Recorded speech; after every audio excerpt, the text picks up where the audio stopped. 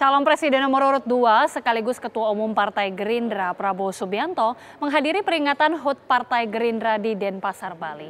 Prabowo berjanji akan memprioritaskan Indonesia swasembada pangan dan swasembada BBM dengan memproduksi BBM ramah lingkungan.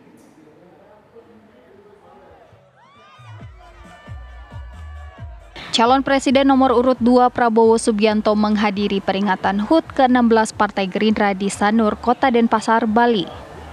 Ketua Umum Partai Gerindra tersebut membalas kritik yang ditujukan terhadapnya soal program food estate yang dijalankan Kementerian Pertahanan. Prabowo menjanjikan Indonesia akan swasembada pangan dan swasembada BBM ramah lingkungan. Prabowo juga menyindir pihak yang mengkritik program food estate yang mementingkan impor pangan dari luar negeri dan menyebutnya pintar tapi hati busuk. Pintar, saya nggak tahu dia kerja untuk siapa.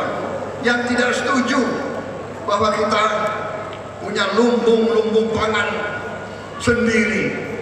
Masih mereka mengira harus impor dari luar negeri. Saudara-saudara kalian, saudara-saudara, sorry ya. Benar.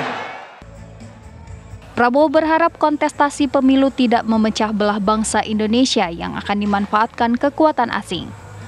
Dari Denpasar, Bali, Aris Wiyanto, TV One mengabarkan.